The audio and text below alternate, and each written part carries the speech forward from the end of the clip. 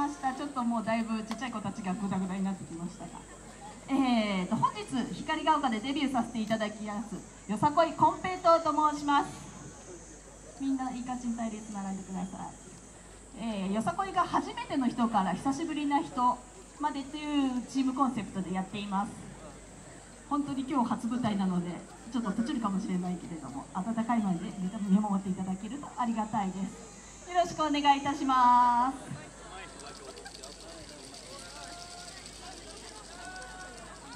ゃあいきますよ。行くぞよさこい。